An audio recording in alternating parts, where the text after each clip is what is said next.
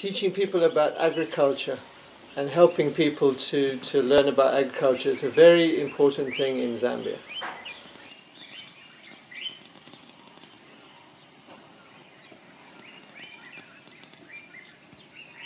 It's in, it's in the blood for people to farm in this part of the world, I think.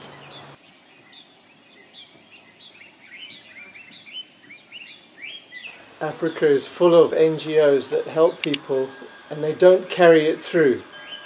And then, you know, a skeleton of what they've done is left behind.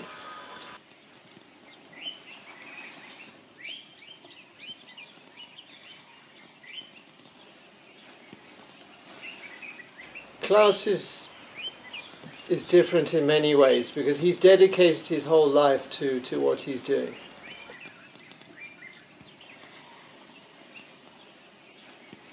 Ich hatte die Gelegenheit, 1972 Freunde hier in Sambia zu besuchen, die an einer Missionsschule tätig waren als Lehrer. Und der Besuch hier in Afrika hat mich einfach beeindruckt, dass ich mir nach meiner Rückkehr in Deutschland überlegt habe, für was hatte ich eigentlich die Gelegenheit, dieses Land zu besuchen, diese Menschen kennenzulernen, die Umstände zu sehen.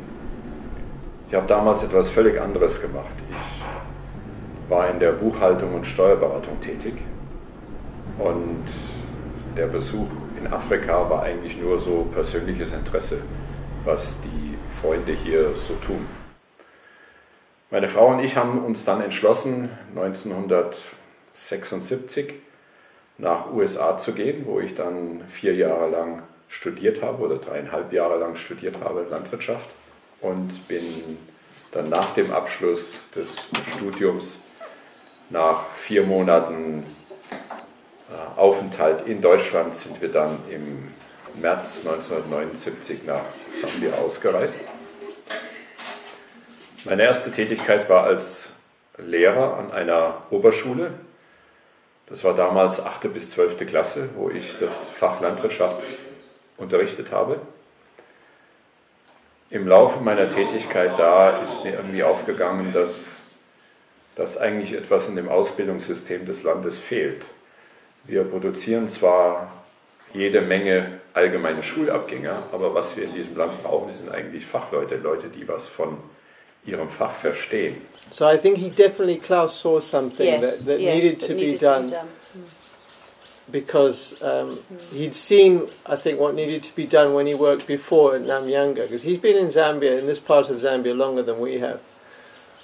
So he saw that and then he just decided to help people. I think it's very good what he's Yeah, and I doing. think it's very, very good, and it's very, yeah, it's very necessary, and I think it's a, a great thing that he's doing there. Yep. He's also really a friend good. of ours. So. Yeah. Und so haben wir uns entschlossen, eine Landwirtschaftsschule aufzubauen. Äh, Die Mission, die Zusammenarbeit mit Freunden in Deutschland hat uns geholfen, die Trentfountain Landwirtschaftsschule von 1991 bis 1993 aufzubauen. Äh, Da haben wir dann den Unterricht zu, zuerst einmal angefangen mit einer recht kleinen Klasse und seitdem arbeiten wir eben seit über 20 Jahren jetzt in dieser Landwirtschaftsschule. Before I came here, I had no interest in agriculture, I may say. Not until I came here. After doing the course, that's when I slowly started uh, developing the interest in agriculture. Yeah. By the end of uh, my, my course, I found it worthy for me to study agriculture. And uh, this time, I think agriculture has been uh, one my, of my uh, best course ever. Klaus's policy has always been Sorry, to, my friend. to teach people to help You have themselves. Problems with your asthma. And in particular, um, he's targeting the, the vegetable growing because people can do that on a small scale. And uh, it means that they can earn their own income and grow from that. And I support that 100%. You know, when you go to school, we don't always look at the white collar job, but we also have to do things, some activities when you go to the community. Because when they are being taught on agriculture there, they go in the what, in the villages. They also teach their people, or they also venture into agriculture. So Because when we venture in agriculture, it's more important because you will know what to do. You will be able to feed your own family, even feed the nation because of the knowledge that you got from the agriculture training school. Ausbildung und Schulbildung kostet Geld, überall in der Welt. Ob das nun vom Steuerbezahler bezahlt ist oder von Privatpersonen, ist ja egal, das kostet Geld. Und hier haben wir eben das Problem, dass ganz Afrika ist eigentlich so in dem, in dem Battle-Modus. Selbst das, das internationale Image von Afrika ist eigentlich eher hier, bitte, wir sind arm, könnt ihr uns helfen. Das ist aber eigentlich gar nicht nötig, denn Afrika ist eigentlich ein reicher Kontinent. Jedenfalls die natürlichen Ressourcen sind ja fantastisch. Und so versuchen wir unseren Studenten beizubringen, also was immer euch das hier kostet, ihr könnt das selber erwirtschaften. Wir geben unseren Studenten ein Stück Land, wo sie Gemüse anbauen. Wir wissen zwar, dass nicht jeder unserer Studenten Gemüsebauer wird, aber Gemüse eignet sich dazu, weil das relativ schnell ist, die innerhalb von acht bis zehn Wochen die ersten Ernten haben, die sie zum Markt bringen können und dadurch relativ schnell Geld reinkommt. Cucumber. We used to produce uh, vegetables almost every day, every week. We had some sales. I had my own sales. So I made my own monies out of uh, the same gardens, which helped me when I was going back to the village where I'm coming from. It really helped me. Even now, I think I really appreciate what I learned from this college. Hier oben links haben wir eine Liste von unseren erfolgreichsten Gemüseproduzenten für die Jahre. Und da sind schon ganz ansehnliche Mengen produziert worden. Die beste Gruppe von Studenten hatten wir 1912, nein, 2012, Entschuldigung. Der beste Student hat damals in zwei Jahren 16 Tonnen Gemüse produziert in einem Garten von 600 Quadratmetern.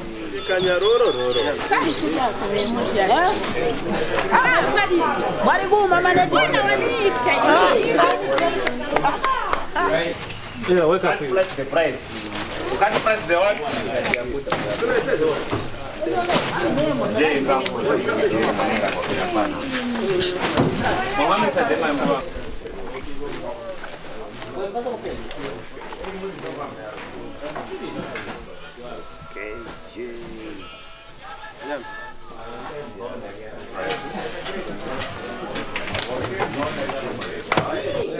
Das war ein super Jahr. Die anderen Jahrgänge waren nicht ganz so toll, aber eben darum geht es, den Leuten beizubringen, dass sie mit etwas Fleiß und etwas Vorausschau und etwas Zielstrebigkeit wirklich etwas erreichen können.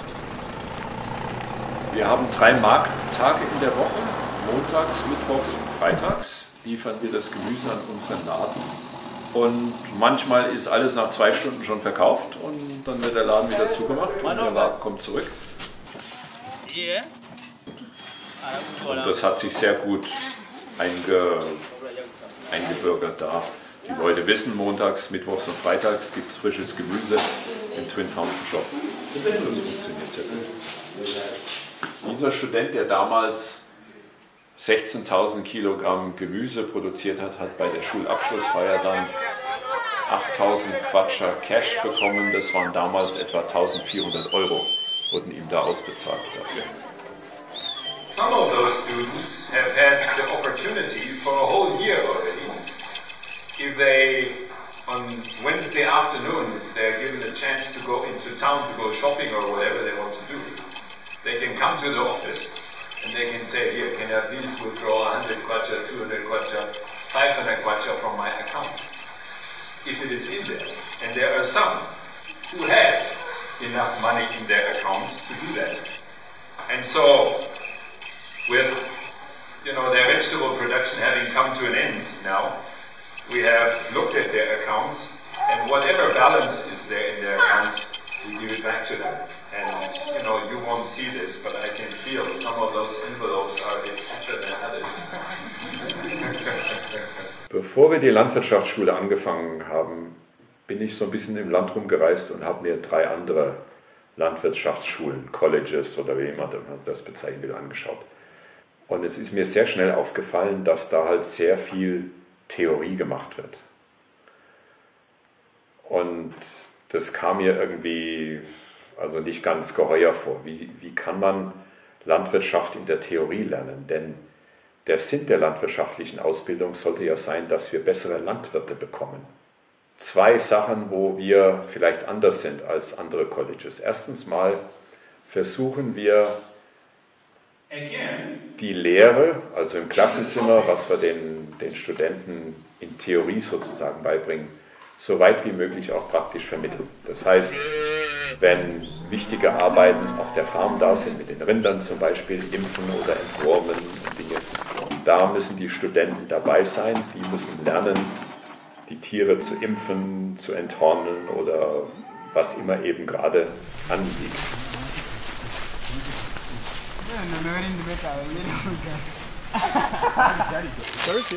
To whom does this field belong? Yeah, it's mine. Yours? Yes. What you growing here? Ah, it's cabbage. So it is not growing very well just because of what? Im Laufe der Jahre haben wir pro Jahr so zwischen 10 und 20 Studenten neu aufgenommen. Manche Klassen sind etwas größer, manche Klassen sind etwas kleiner. Die dann hoffentlich, wenn sie hier nach zwei Jahren abgehen, selbstständig Landwirtschaft betreiben oder aber bei jemandem angestellt werden als Vorarbeiter oder Manager oder stellvertretende Manager, die also ihre, ihre Kenntnisse und ihr, was sie hier gelernt haben an praktischer Arbeit dann auch wirklich umsetzen können. So I think even uh, Klaus, I would say, he they liked me so much. Even now, he cannot uh, forget about me because uh, I was doing fine. Because he's such a person who likes someone if he's doing what he teaches. But if you are against what he's teaching, or you're not all that pro- productive, then you'll be enemies for the rest of your life.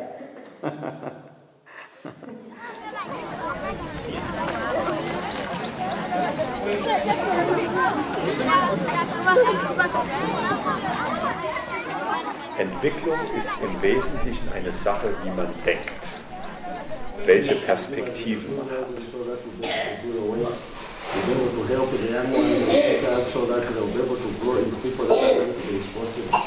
We want to pray that Lord, the, the Holy Spirit will be in our midst, that Lord, whatever we are going to do, it shall be something that we are going to do.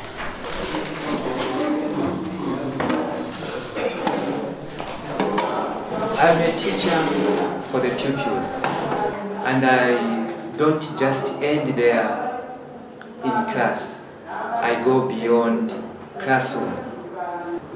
You know, when Klaus came at Twin Fountain, you know, his desire, so to speak, was to come up with an agriculture college. And in the process, uh, after he has come up with that program, now his father also came. Ja, meine Eltern hatten uns mehrmals hier besucht und haben so unsere Arbeit hier kennengelernt. Und meinen Eltern ist sehr schnell aufgefallen, dass in dieser Gegend hier sehr viele Kinder nicht in die Schule gehen. And now, can you imagine that those pupils used to walk?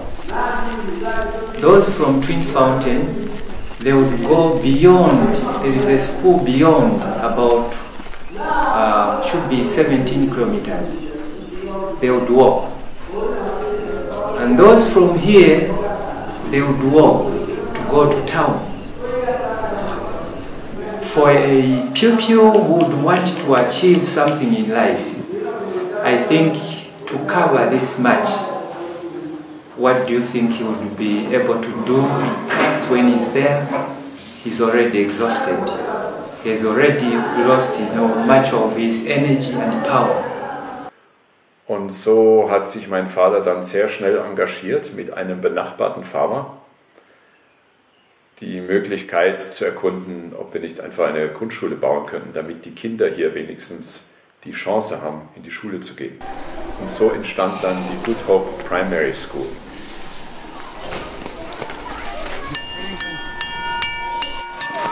Wow,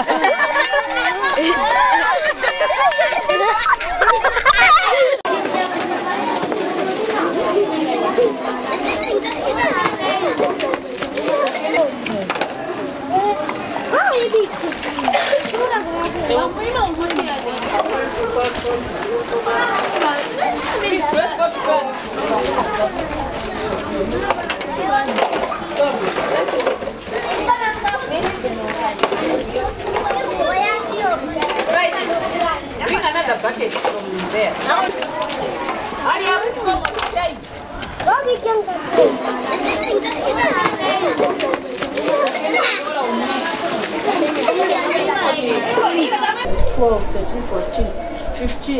Musiga ai, ah musiga no, ngono.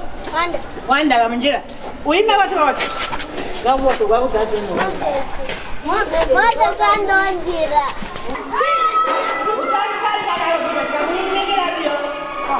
Wir vermeiden wollen, dass Tausende, vielleicht Millionen von jungen Leuten einfach nur verkommen und dann sich vielleicht aufmachen auf eine sehr waghalsige Flüchtlingsreise nach Europa, wäre es ja eigentlich angebracht, einen Beitrag dazu leisten, dass die, dass die Möglichkeiten im Land verbessert werden, dass die Perspektiven für junge Leute einfach da sind, dass, dass es Möglichkeiten gibt, wo sie sagen, ja, das könnte ich mir vorstellen, das könnte ich machen, damit könnte ich mein Lebensunterhalt verdienen. Aber wenn keine Perspektive da ist, ähm, dann radikalisieren sich junge Leute, auch in Afrika, überall in der Welt, und versinken einfach in, in Armut und Apathie.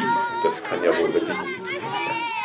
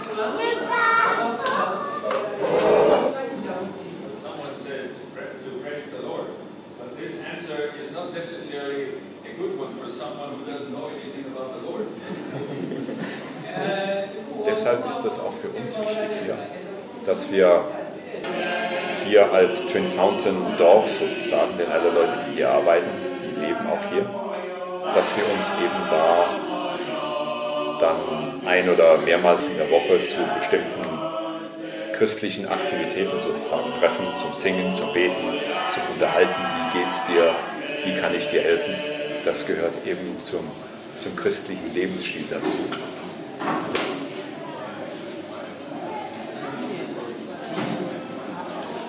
Es gibt immer viele Herausforderungen und vielleicht möchte man manchmal dann einfach auch aufgeben, aber davon wird ja überhaupt nichts gelöst. Vor allen Dingen, wenn man als Motivation äh, einen Glauben hat an einen guten Gott äh, und das, das motiviert immer wieder zu sehen, wo kann ich einen Beitrag dazu leisten, dass die Welt nach mir hoffentlich etwas besser ist als vor mir.